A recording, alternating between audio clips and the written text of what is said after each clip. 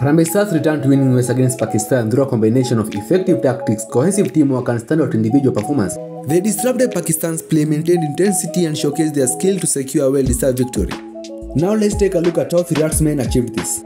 During the match, Harambee Stars employed a 4-4-2 formation to manage the spaces on the pitch before transitioning into a pressing style of play. The use of a double pivot in the central midfield acted as the foundation of the team's possession system.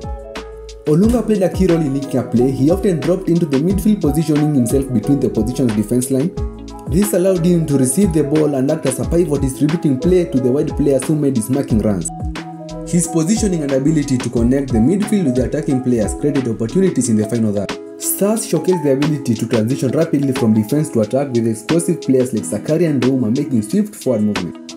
Harambee Stars implemented an aggressive high press strategy aiming to force Pakistan into clearing the ball. This tactical approach involved the entire team pressing collectively and applying intense pressure on the opposition players. The team's commitment to high intensity pressing created turnovers and allowed them to regain possession in advantageous position on the pitch.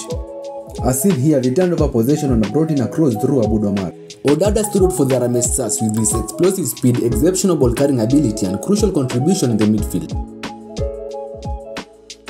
He acted as the team's fulcrum, connecting the defense with the attack and controlling the game's tempo. Odada's positional awareness and defensive cover were always commendable as he provided crucial support to the team's defense.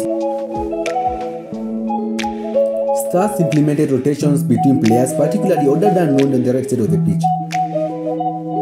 These rotations maintained balance and provided multiple attacking options. The team's game plan emphasized fluidity and effective game management, allowing them to exploit spaces and control the match dynamically. Another weapon in Arambe arsenal was Sakari's long throw, which provided an alternative attacking option and put pressure on the opposition defense. Harambe Stars demonstrated exceptional game management skill through the match, effectively controlling the flow of play.